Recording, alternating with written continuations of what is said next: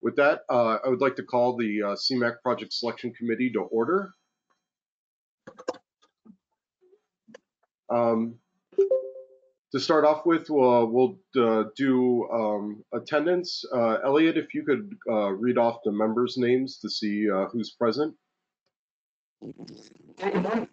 Um, Don Burkhart, Here.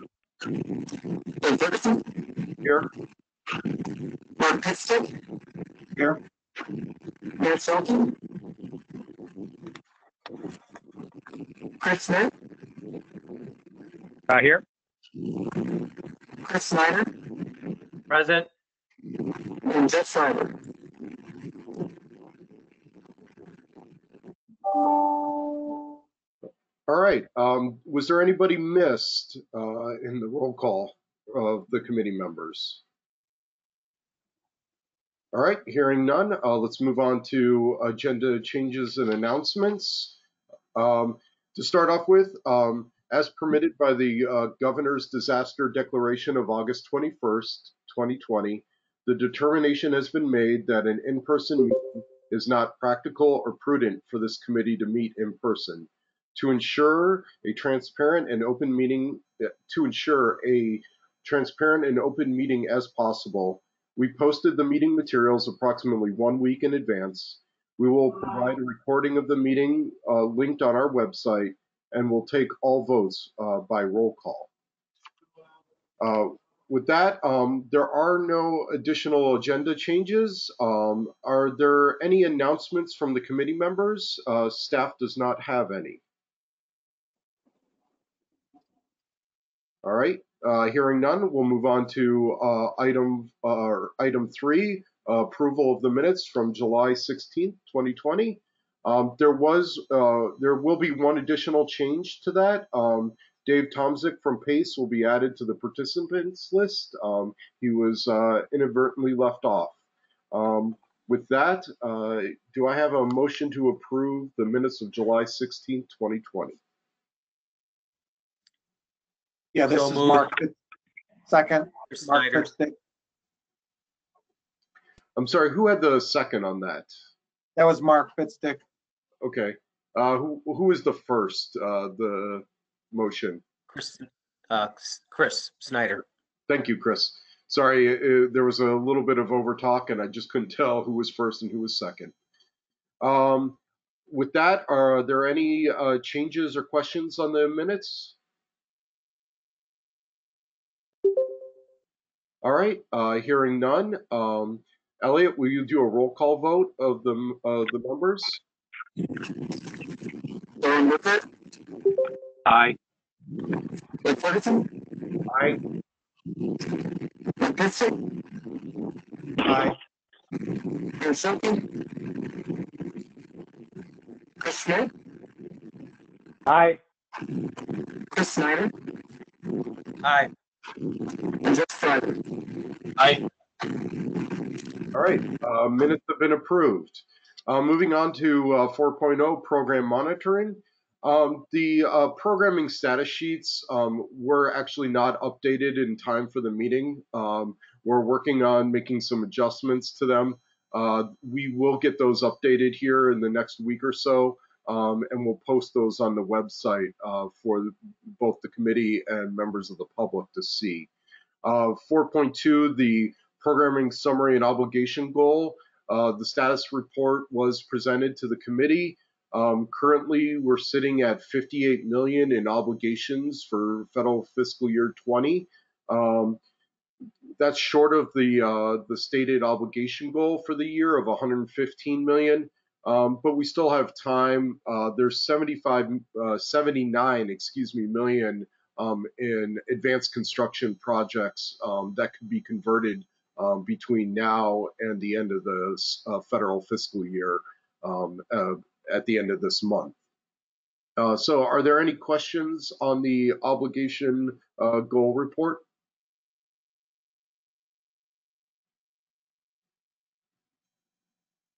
All right, uh, moving on to 5.0, uh, the CMAQ midpoint performance plan.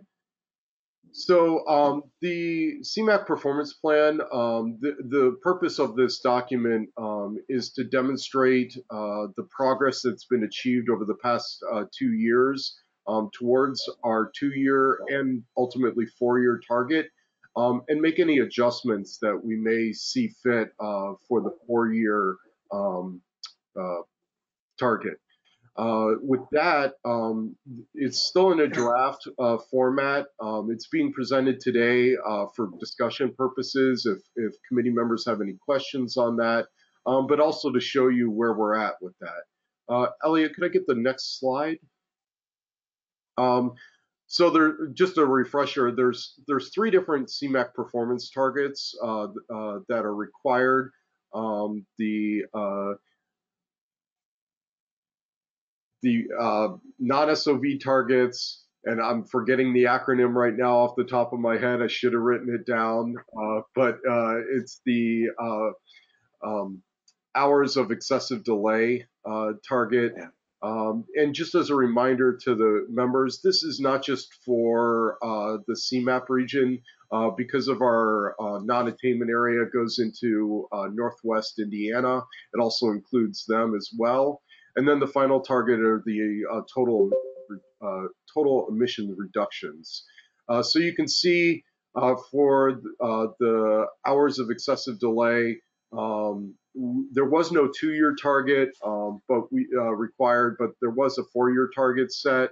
Um, for 2019, we're showing um, the hours as 14.5, which for this case, um, a down um, is a a good thing. Um, so whether we hold up for the next two years for this target, um, it's yet to be seen. Um, but 14.5 is well below the the 15.4 uh, four-year target. With non-SOV, um, we're showing um, a two-year progress assessment of 31.2% of trips being taken, uh, work trips being taken uh, by non-SOV uh, means. Um, this is short of the two-year target. Um, however, the because of the delay in um, Census Bureau data um, for the ACS, um, we're currently showing the two-year assessment with 2018 numbers. Um, so it is still potentially possible to meet the 31.4, um, but we're also curious of how the current pandemic is going to affect these numbers. we know work from home is up, um, but we also know transit is down. Um, so it'll be interesting to see how the um, 2020 numbers shake out um, for that. Uh, and it, your guess is as good as mine if we're going to meet that. Um, I think it's outside of the control of this program to um, affect that uh, from the, the pandemic standpoint. next slide the total emissions reduction targets, um, uh, there's, it's, it's providing some interesting um, uh, data. The two-year assessment uh, for both nitric oxides and particulate matter 2.5 uh, um, where we've already exceeded the four-year target for both of those um, uh, pollutants and, and precursors. Um, for VOCs, we're, we're a little bit behind on the two-year target. Um, this just has happens to do with how projects have moved forward and other projects have been delayed. Um, looking at what we currently have programmed, we still have the potential to meet the four-year target. Um, so for VOC, at least we're not recommending um, uh, changing the four-year target, um, but keeping it the same. Uh, we still think we can meet it. Um, with the the, it, has been asked by uh, several other staff members. Well, how can we've already exceeded the four-year target um, uh, with our two-year assessment? Um, and it comes down to really one project um, for nitric oxides. It's um, when the um, Metra uh, uh, locomotive repower and, repl and replacement uh, project uh,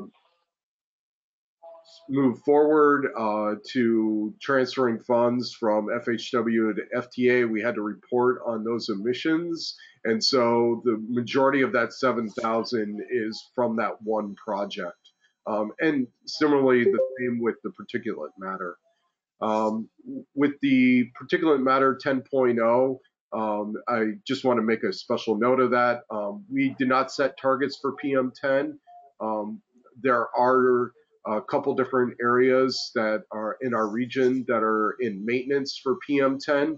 All of them are related to mining activities and are point source and not mobile source. Um, we've never evaluated particulate matter as part of our um, evaluation of projects. Um, so we have not made any attempt to go back and reevaluate projects for PM10. Uh, with that, um, I'd like to open up the floor to any questions or discussion on this. Yeah, yeah, Doug, this is Mark Pitstick. Can you hear me? Yes, we can. Yeah, good. Uh, I have uh, one comment or recommendation and then a question. Uh, first is the, the comment is really sort of a layout comment or an organization for this draft report. Uh, the first couple pages lays out the baseline and then it has those some little graphics in there. And then after that to talk about the targets and the assessments, it would be nice to have all those numbers together in one table for each for each of these areas, you know, so you could see the baseline and the target and sort of see how the progression is. Okay. If that's possible to add a column into the, the later tables to do that. You can see Yeah. on your the slides you have today don't say the baseline on there because it's not in the same table. Right. Um, and related to that is my my question, and it's about uh, the baseline for the performance, uh, the peak peak hours of excessive delay. I mean, it looks like the baseline was 14.8, and then you know the goal, the target, initial target was uh, I don't know 14.5, a decrease, but then the four-year target is 15.5, so that's higher than the baseline. I just I, I just making sure that that's that was intentional. Is that what's the story? Yeah, so uh, we're using FHWA's RITIS tool uh, to do this, Mhm. to, um, to run the numbers.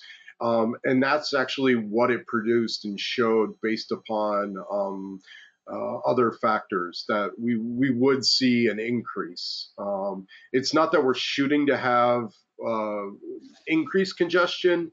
Um, it's just Okay. showing that like we do feel that um, even with the current state, like, I mean, CMAQ projects probably have very little effect over the national highway system, which is what we ha- were required to use. Um, a lot of our projects are on um, locally controlled and county routes that don't actually aren't actually on the national highway system. Um, so it's kind of a difficult target to to um, to affect with directly with CMAQ. Um, but yes, this is what RITIS, based upon uh, uh, what we're forecasting as far as population growth and changes in travel is is going to happen over the next. Uh, well, when we set the target two years ago, that's where where it was at. Um, Okay, so even setting aside the COVID impacts, there was a- an expectation of an initial dip and then a, an increase after that, after the first two years. Well, we didn't have to set a two-year target, so that's. No, but, okay, but, all right, I would add that um, at least the 20s, uh, uh, 18 numbers actually showed 17, uh, which was Okay. higher than I mean Yeah. the, the target. right, Um, it's it's going to vary year by year based upon construction activities, um, uh, potential increase in travel. I'm sure the COVID numbers are actually um, initially for uh, this year they were probably down for for at least a few months, um, but probably uh the the peak hour excessive delay is probably going to increase. okay, that's all for me, thanks Doug. No problem. Anybody else have any comments or questions? Hey Doug, Chris Snyder. Um, in the handout, table seven, which if you don't have the handout at your, at, at where you're at, um, for the viewers, they may not, may not see this, but we have all the various CMAQ project categories, access to transit, bottleneck, etc. And we have two items under the two progress, or two years. We have 2018 and 2019. Um, and in some cases, 2019 is more. In some cases, it's less. In some cases, it's noticeably more or less. And I didn't know whether we're to infer anything with those trends. Um, no, it, it was based purely upon the projects and when they were programmed when we were setting the targets. Um, so we do feel that the the projects will probably shift around a little bit. Um, and uh, it, it's it, it, it's kind of it's hard to always gauge like what projects might be delayed. Um, there's there, it's not a trend. Um, it's just purely based upon what's programmed in those different categories at the time. Okay, Does that does that make sense?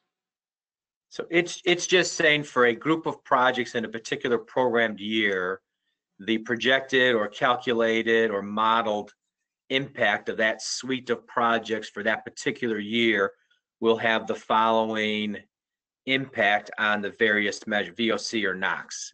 Correct.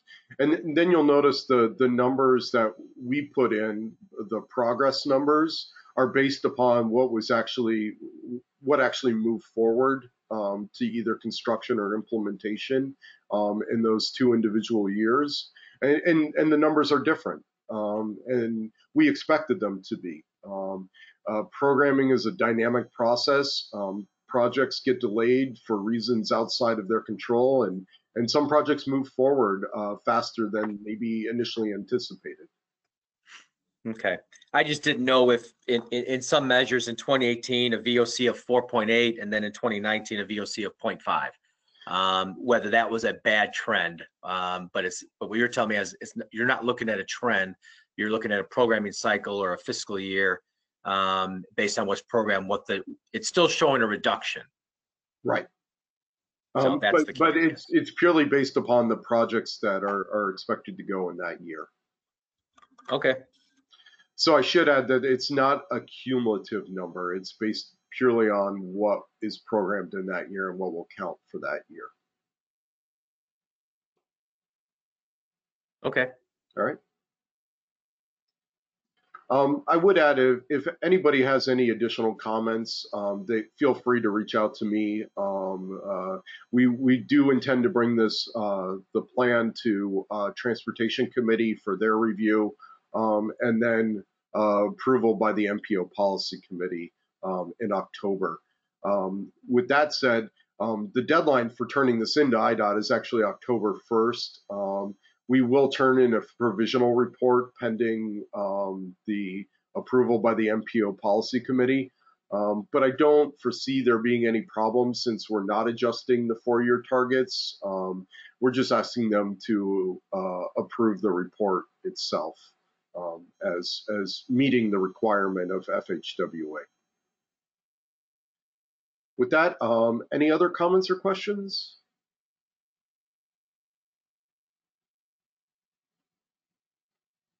All right, uh, moving on to uh, project changes. So there were uh, five project changes uh, submit, uh, submitted for your consideration. Um, I'm just going to go through all of the changes and what they're requesting um, and what the staff recommendation is is concerned, um, and then uh, we'll vote on them all as a whole with individual questions being able to handle on each individual uh, project as need be. Um, the first one was the Skokie Church Street uh, project. They're requesting uh, a transfer of $101,700 in CMAQ um, from their phase two engineering um, to, or from construction to phase two engineering. Um, when they got into doing the phase two engineering, um, they're being asked to do additional work that wasn't anticipated uh, with improvements to intersections um, and uh, potential road diet. Um, the staff recommendation is to approve the transfer. Uh, the second project is the Aurora Montgomery Road project. Um, the sponsor is requesting a schedule change to move up phase two uh, engineering from 2021 to 2020 uh, per IDOT's request. Um, the amount of funds that are being moved up are $371,196 in CMAQ.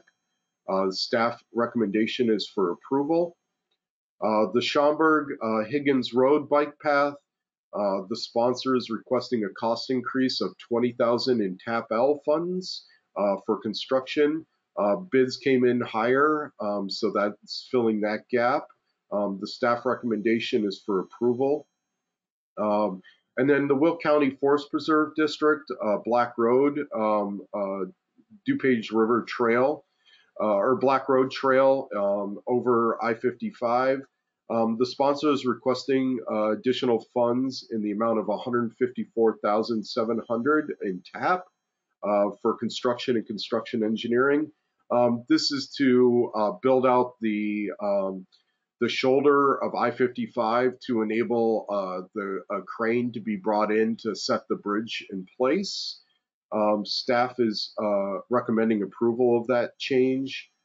And the last one is the Elgin uh, Bikeways Plan Route 4 Southwest Quadrant. Um, the sponsor, the, currently the project is in deferral status. Um, they have since completed uh, design, or they've received design approval for from Phase One engineering, and they're requesting the reinstatement of funds for Phase Two um, in the amount of 110,000 uh, in CMAQ. And the staff recommendation is to reinstate uh, those funds for that project. Uh, so those are all five uh, projects. Um, uh, do I have a motion? This is Chris Schmidt from IDOT, so moved. Thank you. Second? Mark Chris Pitstick. Snyder. Okay. I beat you, Mark, again. All right, all right. Hey, Chris. Thank you. Um, any questions or discussion on the changes as requested? Yeah, Doug, Darwin Burkhardt, the Illinois EPA. Yes. Um, just want to point out, I think there may be a typo on the summary table for Skokie on page 204. It, it, it says 100, 101,070, and I think that number should be 101,700. Thank you. We'll, we'll make that change and, and repost that so that it's clear.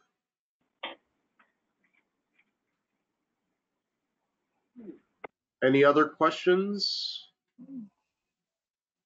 All right, um, well, hearing none, um, with the motion on the table, um, Elliot, would you do a roll call vote? Aye. Aye. Mark Pitstick, Aye. Peter Schultz, Chris Schmidt, Aye. Chris Snyder says yes. I'm sorry, what was that? Did you say Chris Schmidt or Chris Snyder? I said Chris Schmidt, that's Chris Snyder, Chris Snyder. Chris Snyder's an aye vote. Is Elliot on the moon? Just out of curiosity. He's having a little bit Yeah. of speaker uh, feedback. Oh. Jeff, Jeff Snyder,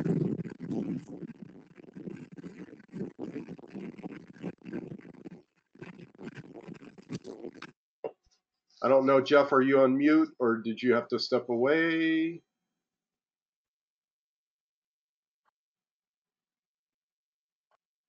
Let's, don't see him. I see him on the, the list of people. He's on mute. Right.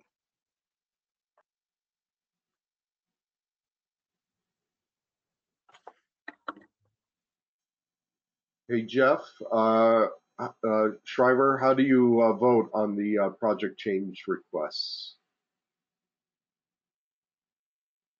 All right, uh, we'll put him as an abstention.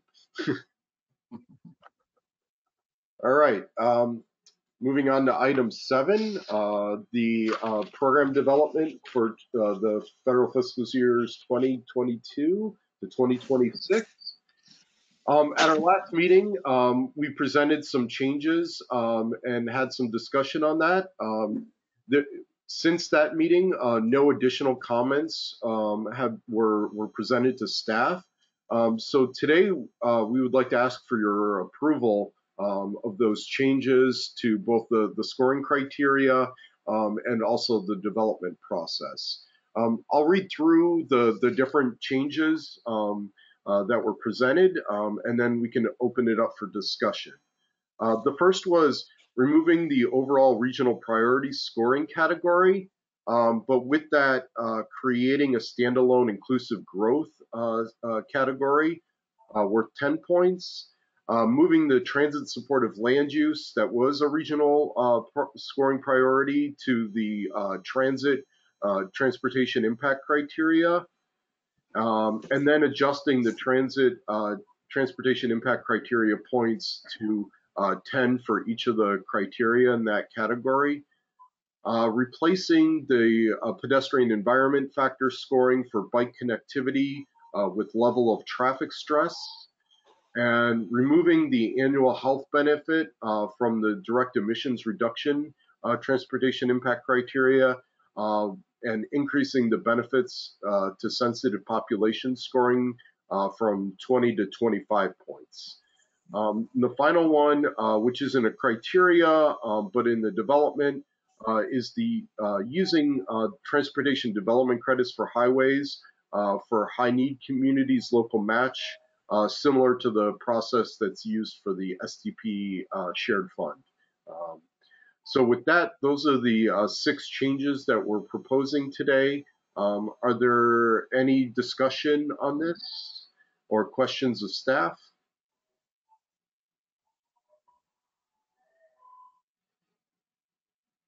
Uh, this is Mark, Mark Pitstick. I motion to approve the changes as laid out by staff. Thank you, Mark. Um, do I have a second? Second, Chris Second. Schmidt, IDOT. Thank you. Second, Chris Snyder, DuPage County. All right. So um, to help Elliot out here, um, I'll do the roll call. Um, uh, I'm not sure if his uh, his mic is just not functioning well. Um, I I switched over to my other music. I- Doug, Doug, it's Terry. I can do it for you. all right. Thanks, Terry. All right. Um, Darwin, Aye. Doug, Aye. Mark, Aye. Miss Bilkey's not here. Chris Snyder, Aye. Chris Schmidt, Aye. Jeff Schreiber, Aye. All right. With that, uh, the uh, changes, the motion approved. Um, moving on, uh, we have the public comment. Uh, staff did not receive any additional public comments in advance of the meeting. Um, uh, is there anybody in the audience that wishes to address the committee? Sorry, here I'm trying to move over to the chat to see if there's anything. I'm not seeing anybody wishing to address the committee. Is that correct? that's, there's nothing in the chat. That's correct. Okay. All right. Uh, with that, uh, the we'll move on. To, the next meeting is uh, scheduled for Thursday, October 29th um, at 11 p.m. Uh, barring any changes, we anticipate that it will also be uh, another remote meeting, uh, most likely through GoToMeeting as well. Um, moving on to other business, um, does anybody else on the committee have any other business? All right, well, hearing none, um, I um, will adjourn the meeting of the Mac Project Selection Committee. Thank you very much, everyone. Thank you. Thank you.